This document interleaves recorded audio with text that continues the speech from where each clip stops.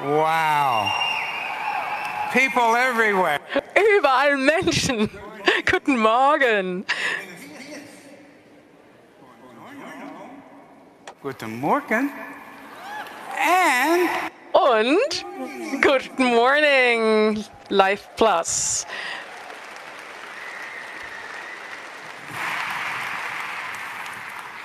you know, Wisst ihr, das ist so ein wundervolles Gefühl für mich, diesen Tag mit meinen wirklich hochgeschätzten Partnern und Freunden aus aller Welt verbringen zu können. Meine alten Freunde, meine neuen Freunde und meine äußerst außergewöhnliche Familie. Wisst ihr, ich ähm, stehe jetzt äh, auf dieser Bühne fast 24 Jahre. Und während ich meine äh, Rede für euch heute hier vorbereitet habe, habe ich mal darüber nachgedacht, wie das überhaupt entstanden ist, Spirit of Life Plus. Und ich habe mich erinnert, wo dieser Name eigentlich herkommt. Wisst ihr, Life Plus ist so ungewöhnlich, dass wir es äh, anfangs einfach echt schwierig fanden, wie wir unsere Treffen nennen sollten. Nennen wir sie nun Sitzungen, Seminare, Conventions oder was? Wie lässt sich der Zweck einer solchen Zusammenkunft wie hier und heute beschreiben? Dann hatten einige unserer frühen Partner und Führungskräfte die Idee, das den Spirit zu nennen. Das ist der Spirit of Life Plus. Denn das ist es ja, was wir eigentlich hier tun. Wir feiern diese Geisteshaltung, den Spirit, um den es bei Life Plus ja eigentlich geht. Wir schätzen diese Energie und wir schätzen uns auch gegenseitig. Und wir schätzen natürlich auch die Gelegenheit, diese Chance, die wir zusammen für alle geschaffen haben und auch die Bereitschaft, da mitzumachen. Natürlich ging das nur, indem wir uns auf das konzentriert haben, was wir wirklich wollen. Das ist, was uns hier alle heute zusammengeführt hat, in dieser fantastischen Location an so einem schönen Teil der Welt. Wir verfügen über eine unfassbare Energie, die man nicht leicht erklären kann, aber wir können sie alle spüren. Ich kann das mit Sicherheit, insbesondere wenn wir uns hier so zusammenfinden. Und die geht von euch aus, vom Teilen der Ideen und dadurch, dass man Menschen hilft, sich zu entwickeln und indem man lebendige Gemeinschaften Gleichgesinnter schafft, wie hier. Wir alle haben unseren Teil zu unserem Erfolg und unserer Bereitschaft, unser Leben selbst in die Hand zu nehmen, geleistet. Durch Jahre harte, aber trotzdem freudvolle Arbeit. Aber ich kann das eigentlich gar nicht als Arbeit bezeichnen, weil es mir so viel bedeutet hat und eigentlich auch uns allen. Uns eint unsere, unser Engagement, unsere Begeisterung und unsere Leidenschaft, Wissen mit anderen Menschen zu teilen, egal wo sie herkommen oder wo sie leben.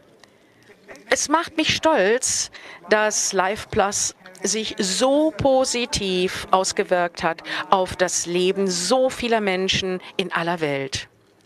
Und äh, wie viele von euch äh, wissen, äh, habe ich, wie viele meiner Life Plus Mitgründer, immer den starken Wunsch verspürt, Menschen zu helfen. Ich war gerade mit dem Apothekerstudium fertig, vor vielen Jahren.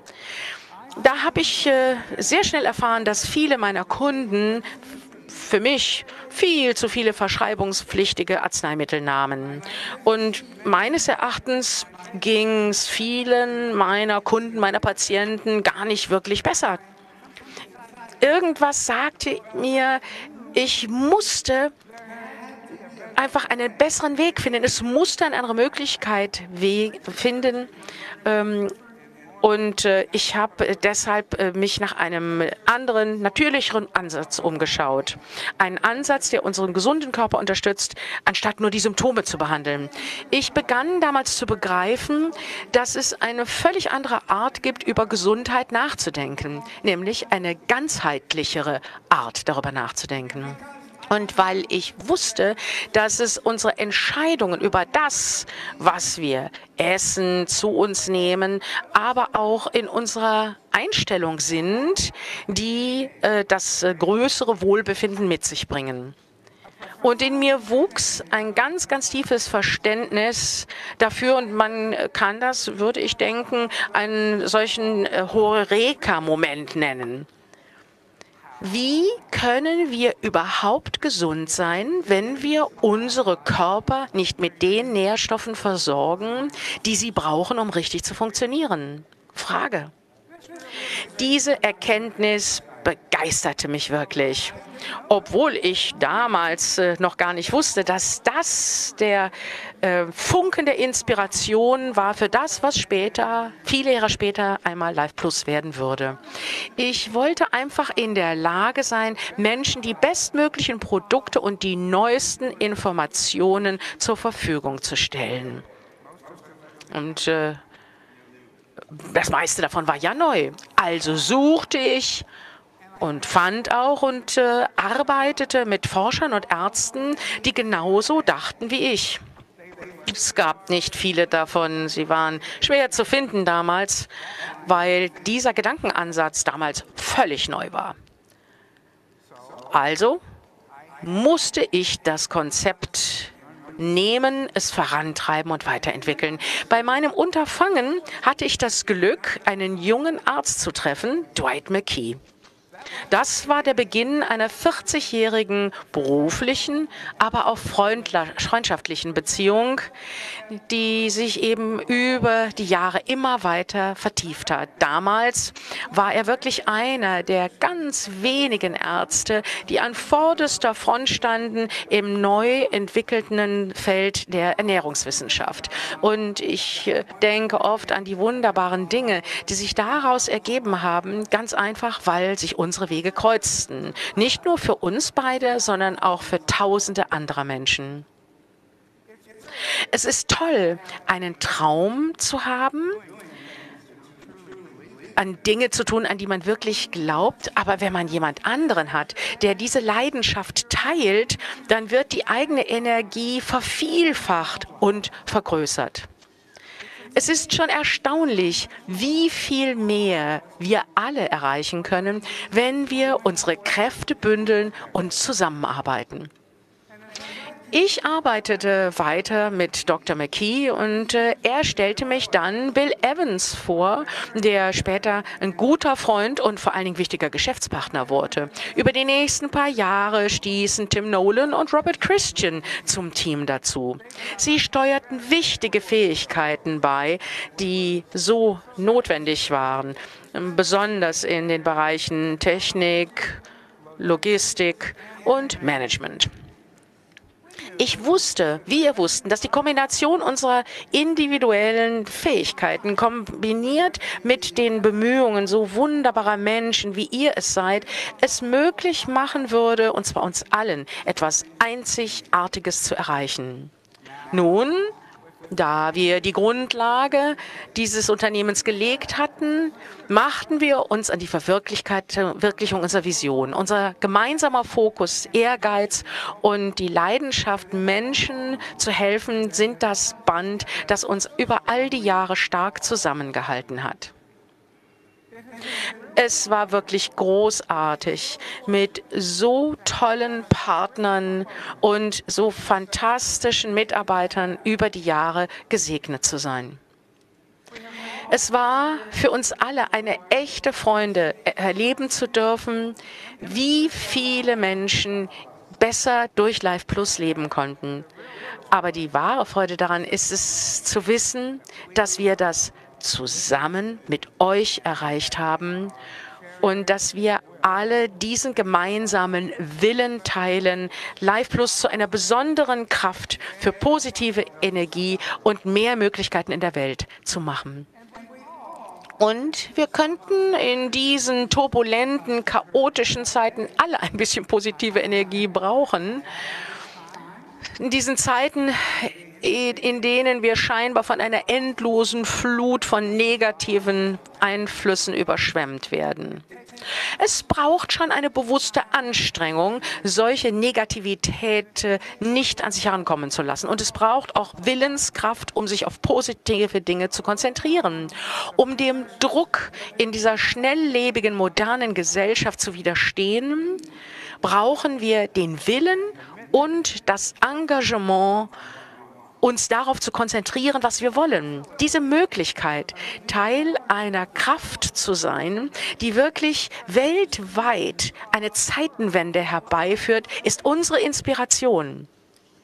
Jetzt ist die Zeit für Live Plus gekommen, sich wirklich zu fokussieren und Vertrauen darauf zu haben, was wir tun und auch zielgerichtet zu handeln.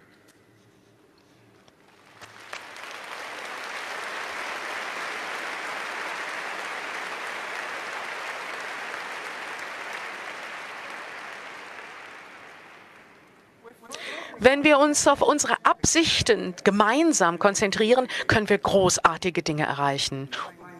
Und ich äh, möchte das vielleicht etwas anders erläutern. Unsere Absichten sind ja eigentlich nichts anderes, als dass wir uns darüber klar werden, was wir wirklich wollen. Wenn man sich wirklich auf die eigenen Absichten konzentriert, dann fängt man an, den Traum jetzt zu leben. Und wenn man dann noch ganz besondere Wünsche in diese Absichten hineinbettet, dann ist das viel wahrscheinlicher, dass das auch passieren wird. Um das nochmal anders zu formulieren, spürt eure Absichten, spürt euren Wünschen nach. Und fokussiert euch nicht auf eure Gefühle der Vergangenheit. Konzentriert euch auf eure Emotionen im Hier und Jetzt, sodass sie euch zu euren Wünschen führen können, jetzt und in der Zukunft. Unsere Verbindungen miteinander und der Welt im Allgemeinen werden durch unsere Gefühle, Gedanken und durch Liebe wachsen. Ich glaube, es gibt nichts Lohnenderes im Leben, als für jemand anderen etwas Gutes zu tun. Wenn wir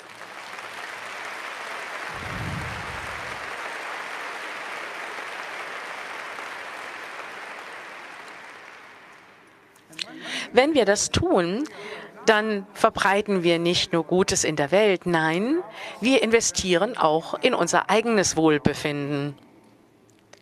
Meine Frau Judy und ich ähm, haben eine Serie geguckt auf Netflix und die heißt uh, The Kindness Diaries, um die Welt ohne Geld. Die handelt von einem Mann, der wirklich ganz oben von Alaska bis an die Südspitze von Südamerika reist und zwar in einem 20 Jahre alten Volkswagenbus ohne Geld und ohne Lebensmittel und sich nur auf die Güte der Menschen verlässt. Als ich das äh, angeschaut habe, da konnte ich gar nicht anders und habe sofort an Live Plus gedacht, wo es einfach erstaunlich ist zu erleben, wie viele Menschen anderen Menschen gegenüber gütig sind. Und obwohl unsere Live Plus Gemeinschaft gewachsen ist, haben wir nie unser Ziel aus dem Blick verloren, Gutes für Menschen zu tun und ihnen die Chance zu geben, das Gleiche auch für andere zu tun.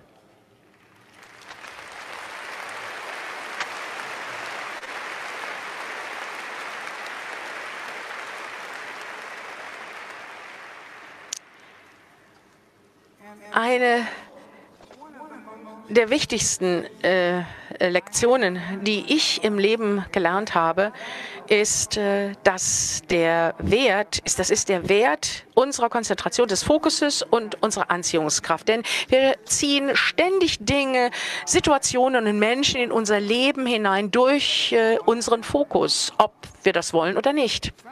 Einige Dinge passieren in dieser Welt, die wir nicht kontrollieren können, aber über unseren Fokus, über das, was wir uns konzentrieren, wo wir uns darauf konzentrieren, haben wir die völlige Kontrolle. Das kann uns keiner wegnehmen. Und das ist genau das, was ich immer und wieder über die Jahre gesagt habe. Und ich sage es auch heute nochmal. Und ihr wisst genau, Konzentriert euch auf das, was ihr wollt, nicht auf das, was ihr nicht wollt.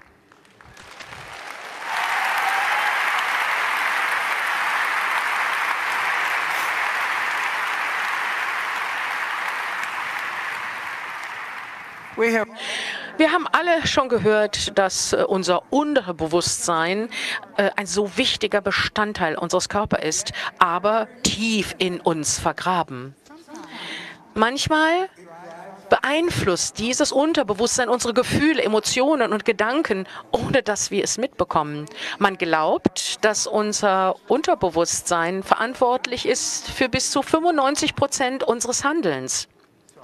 Also sich fokussieren auf das, was wir wollen, heißt in sich hereinhorchen und sich erinnern, dass unser Unterbewusstsein schließlich programmiert worden ist von Geburt ab.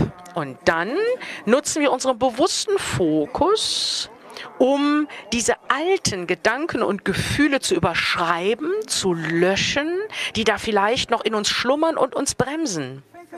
Denkt mal drüber nach was ihr jetzt wollt, ist vielleicht was ganz anderes, als was euer Unterbewusstsein programmiert hat. Und zwar aufgrund eurer alten Erfahrungen. Und deshalb ist auch unser Fokus auf und in die Gegenwart so wichtig ist. Wichtig ist, nie zu, unter, äh, den, äh, zu vergessen, welchen Unterschied fokussieren und beobachten bedeutet. Ja, wir sind natürlich den Medien ausgesetzt, jeder Menge Fake News und Dingen, die nicht so angenehm sind. Man muss sie wahrnehmen, aber man sollte sie nur beobachten. Das ist ein großer Unterschied. Denn wenn man als Außenstehender etwas beobachtet, dann beobachtet es man es nur von draußen. Das ist alles. Aber wenn man sich darauf fokussiert, dann wird man eins mit der Energie von dem, auf was man sich fokussiert, sei es nun negativ oder positiv.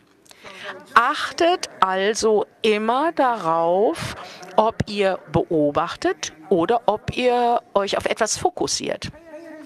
Achtet auf die Worte, die ihr sprecht. Diese Worte sind mächtige, mächtige Werkzeuge der Schöpfung. Und bitte seid großzügig mit eurem Wissen, teilt es mit anderen.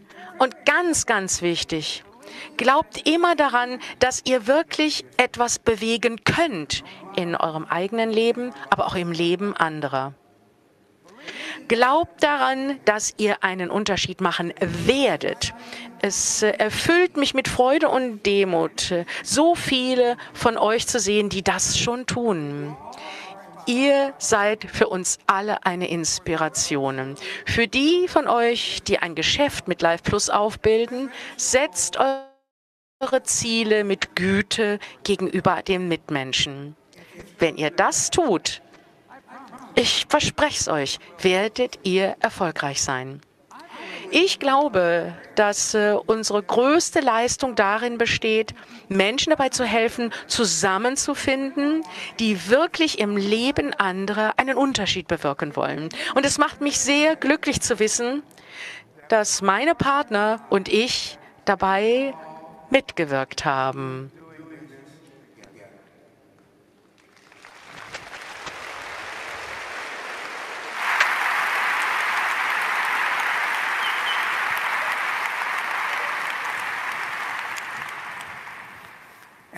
Und ich möchte auch all den Teammitgliedern in äh, unseren äh, Geschäftsstellen, in den Lagerstellen, in den Werken, in den USA, im Vereinigten Königreich, in Neuseeland für ihre Motivation danken und dafür, dass sie wirklich mit Herz und Seele bei Life Plus dabei sind.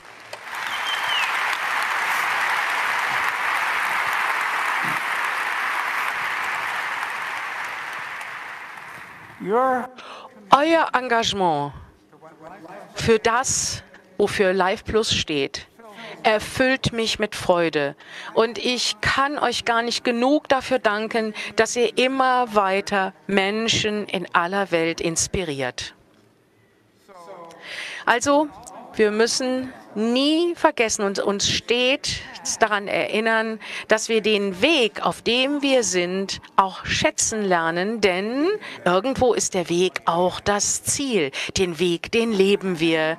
Ich danke euch allen dafür, dass ihr den Spirit jeden Tag weitertragt und damit Life Plus zu einer permanenten Quelle der Freude für euch, aber auch für mich macht.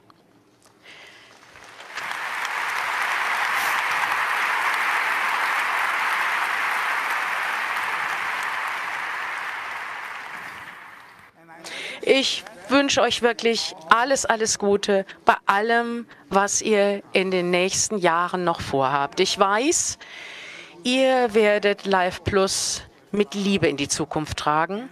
Und äh, ich glaube fest an unsere zukünftigen Generationen und dass sie von dem inspiriert werden, was wir zusammen geleistet haben. Also, egal was ihr tut, seid bitte gütig, teilt eure Liebe und habt auch viel Spaß dabei.